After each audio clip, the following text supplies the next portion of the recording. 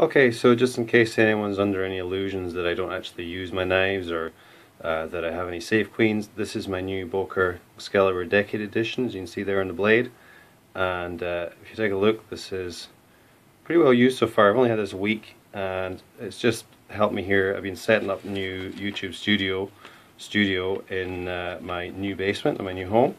We had a bit of a flooding issue a couple of days ago. All my uh, Knives and EDC gear nearly got soaked, they survived. We've dried up the flooding, we've got contractors coming in next week, but um, I got myself set up in the basement, ready to make some videos, and you can see this is covered in oil and dirt and fingerprints, and there's probably a few scratches underneath all that muck. It's not sharp anymore, it's not clean, and it doesn't look as pretty as it should, so I'm going to go and clean this up, and I'll be right back with a full review for you guys. Alright guys, let's start over and start at the beginning this time. This is the box that the Boker Exskelibur Decade Edition comes in. I think it's the same box as the standard one. They do a number of different uh, versions of this. There's a standard G10 and 440C blade. They do various wood handles. Uh, but it was the Decade Edition, which is carbon fiber and VG10, that kind of caught my attention.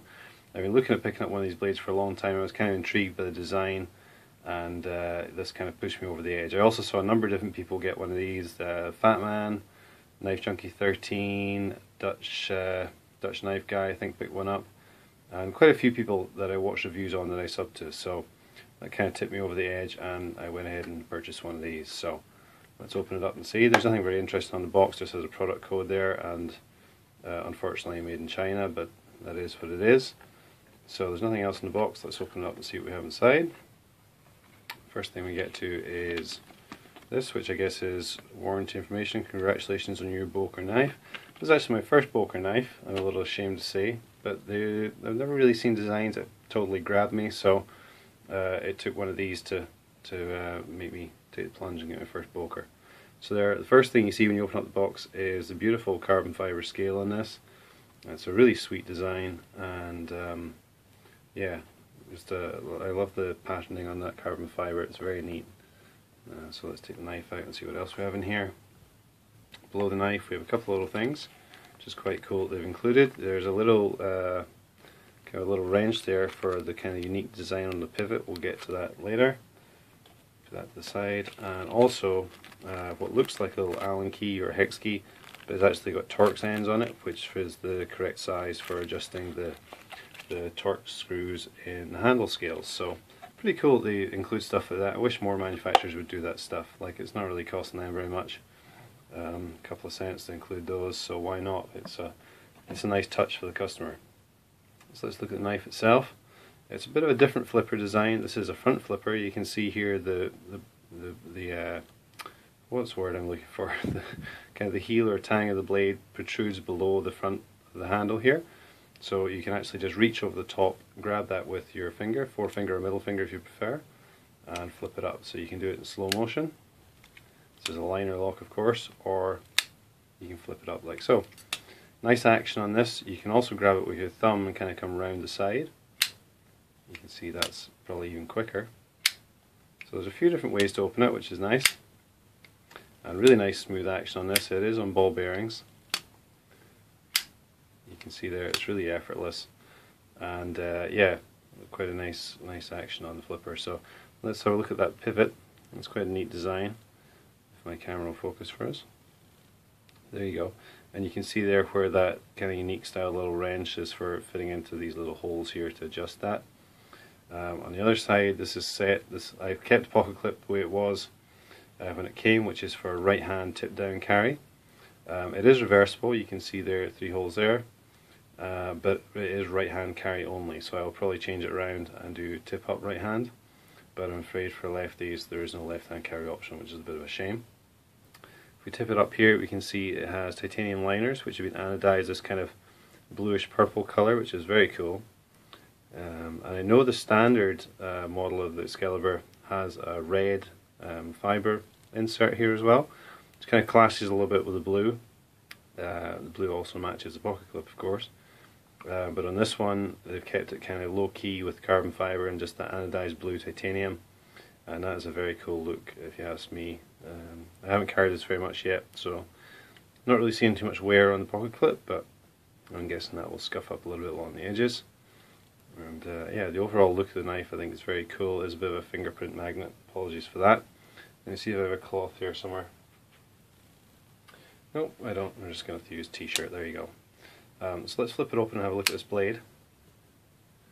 Lovely hollow ground blade. Um, three and a half inch blade, eight inches overall. This knife, and just around. I think it's around three, around three ounces. So it's quite nice and lightweight. You can see there if I can steady it. Boker Plus 2005-2015, hence the Decade Edition. And this is a limited run of 600. If I can get the light on it there. Let's see, where are we? Yeah, you can probably see the top here. This is number 403 of 600, so not a great number, but you know, I got one, that's the main thing, and uh, certainly glad I did because this is a very cool knife. You can see the liner lock there. Let's see if we can get to focus on lockup. Focus on lockup for us. Yeah, so 100% of the kind of the lock bar is engaged there right in the middle of the, the heel of the blade and yeah, nice solid lock on this. Yeah, zero side to side, zero up and down play. As I say, nice and smooth, no stick, no rock. Um, really nice action on it. Other side of the blade we have the designer's name, Skellern. Uh, this is actually, I believe, uh, a version of one of his custom knife designs. So Again, it's this kind of modern trend of uh, taking high-end production or, or custom or mid-tech knife designs and turning them into pretty affordable versions. This is in VG10 as you can see. And uh, yeah, even the Decade Edition, which is kind of the top of the line version of the Exskelibur, is um, I think it's about 140 US retail. I can't remember exactly what I paid for it. Um, I think you can probably get a little bit less than that if you do live in the States. And uh, the standard one, with the G10 handle scales, I think is only around $65, something like that, US. So pretty affordable, really, and uh, great, uh, great fun knife to play with with that flipper style. Um, quite large for EDC, being eight, 8 inches overall. There is a smaller version, Exskelibur 2, which has the same design, also has a little nail nick on the blade for it. Um, but uh, yeah, I mean it's quite slim and it's very lightweight. Uh, so the pocket time I have had with it has been pretty enjoyable. It hasn't really uh, been too obtrusive in the pocket, so we'll definitely be carrying this a lot more. And uh, yeah, let's. Uh, when this came to me, it was uh, razor blade sharp. I have used it a little bit, and it did dull up reasonably quickly. let's. I just touched it up recently, so let's have a look and see what we have now.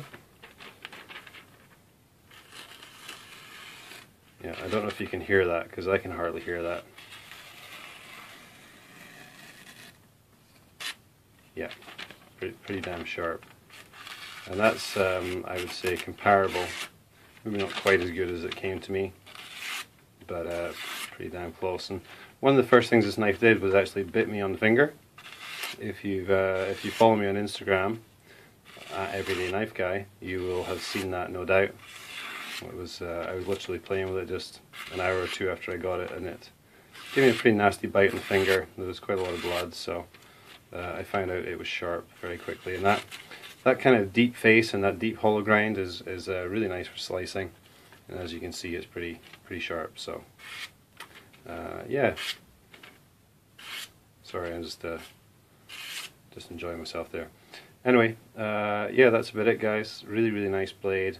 Um, and not too expensive if you want to pick up something that is a bit of a limited run and uh, definitely don't think you regret it. The carbon fiber is lovely, goes really nicely with that blue titanium liner. The performance is great, slicing ability, cutting, uh, would be decent for EDC tasks. It's nice and light, um, although it's quite a large blade for some people.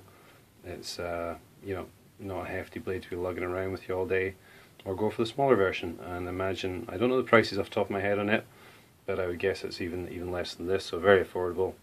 You can see their blade centering is reasonable, slightly off to this side, um, but not a big deal, certainly not rubbing, and uh, not impeding that great flipper action. You can hear there a nice solid lock up. and uh, yeah, once you get one of these in your hand, and once you've mastered that flip, which I'll admit took me five minutes to kind of get into it, um, and it's nice to just open it manually, nice and slowly like that as well.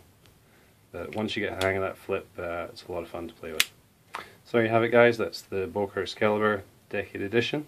Hope you enjoyed that and uh, yeah, I've been slacking a bit in the videos recently, there's been a lot going on with work and moving house and so on. Um, I got a few nice reviews, so we try and crank out some videos over the next month, see if we can do at least one a week for you guys. And I appreciate you watching as always and I'll see you in the next one. Thanks.